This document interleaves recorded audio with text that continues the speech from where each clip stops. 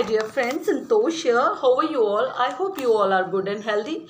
Okay friends, today we uh, study causes of ocean current. Okay, now first one. Causes, uh, sorry, cause related with earth. Rotation of earth, uh, Coriolis force, geometrical shape of earth. And second point, atmospheric causes.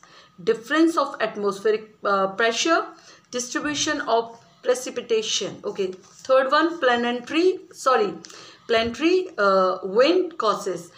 Equatorial uh, westerly wind.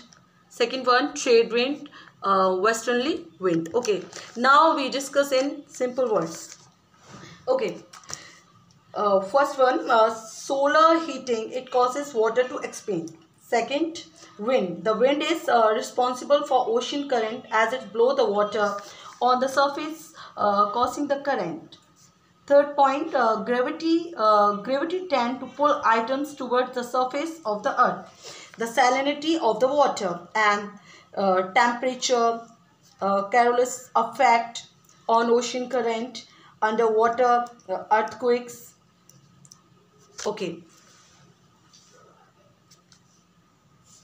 Okay.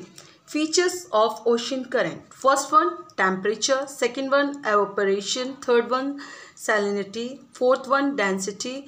Fifth one, impact of equatorial zone. Okay friends, uh, features of ocean current we continue in my next uh, video. Okay, thank you very much for watching my video. Okay, bye-bye. See you again in my next video.